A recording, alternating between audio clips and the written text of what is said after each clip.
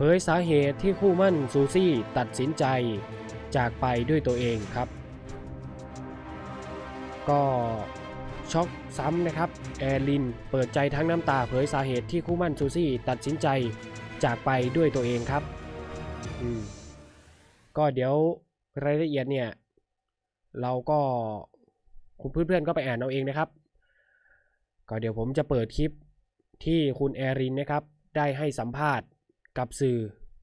นะครับผมเกี่ยวกับกรณีที่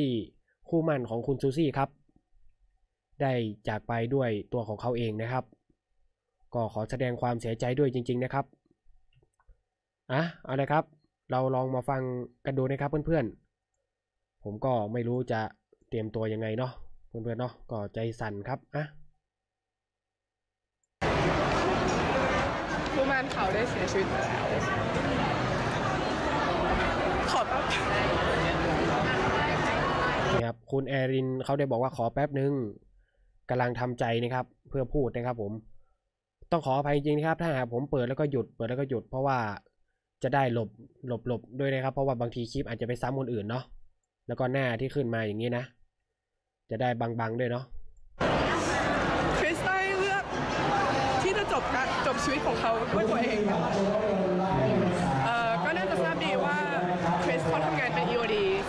เป็น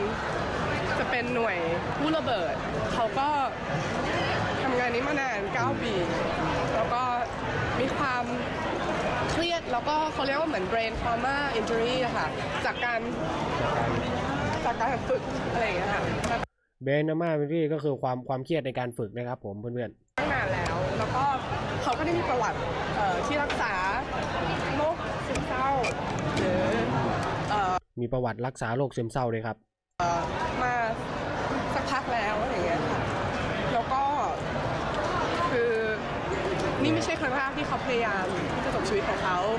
ไม่ใช่ครั้งแรกครับที่พยายามจบชีวิตครับผม ซูซี่ได้พยายาม ดึงเขากลับมาแห่งให้เอ่อแห่งโลกแห่งความจริง แล้วก็พยายามคุณซูซี่พยายามดึงมาแล้ว พยายามโชว์ให้เขาเห็นความรักของของของที่ซูซี่มีให้เขาอย่างเงี้ยค่ะแต่ เรื่องอะไรแบบนี้เนาะคนที่เป็นโรคแบบนี้ มันก็ก็คือมัเขานเป็นก็โรคคาดเดายากอะค่ะแล้วก็ตอนนี้ซูซี่ก็อยู่ที่เชียงใหม่กับครอบครัวเอ่อยังไม่พร้อมเลยที่จะออกมาพูดหรือให้ให้ให้สัมภาษณ์ใดๆค่ะเพราะว่าสุขภาพจิตก็ค่อนข้างแย่แล้วก็ได้ให้อามาเป็นตัวแทนให้มาพูดให้พี่ๆฟังที่ผ่านมาการต่อสู้อะ ตอนนี้ครับอะก็พอพอเท่านี้กันเนาะถ้าเพื่อนๆอยากจะดูก็ตามไปดูเนาะก็เราก็รู้แล้วว่าเออ สรุปง่ายๆนะครับ เราก็รู้แล้วว่าคู่มั่นของคุณซูซี่นะครับเขาก็เนี่ยคู่มั่นของคุณซูซี่เนาะเราก็รู้แล้วว่าเขาเป็นทหารของสหรัฐแล้วก็เป็นหน่วยเก็บกู้ระเบิด ซึ่งทำเกี่ยวกับการเก็บกู้ระเบิดเนี่ยมากว่า 9 ปีแล้ว แล้วก็มีความเครียดในการทำงาน เลยแบบทำให้แบบเป็นโรคซึมเศร้า แล้วก็รักษาตัวเองด้วยนะครับผม แล้วก็คุณแอลินนะครับก็ได้บอกว่าคุณซูซี่นะครับ ได้พยายาม พยายามทำให้เห็นถึงความรักที่คุณซูซี่มีให้ พยายามให้เห็นถึงโลกแห่งความเป็นจริงอ่าเพื่อเพื่อที่จะดึงดึงคุณดึงดึงคู่มั่นไอให้หายจากโรคให้หายจากโรคซึมเศร้านี้ แต่ถ้าว่าครับก็ นะครับเนาะเราก็รู้ๆกันแล้วเนาะอะเพื่อนๆครับก็คิดเห็นยังไงเนาะก็ลองแสดงความคิดเห็นกันดูได้นะครับ วันนี้ก็ต้องขอขอบพระคุณนะครับ ข้อมูลจากสยามนิวนะครับผม ถ้ายังไงเพื่อนๆ ก็ช่วยกดไลค์แล้วก็ช่วยคอมเมนต์ด้วยนะครับผม ผมก็ขอแสดงความเสียใจด้วยครับ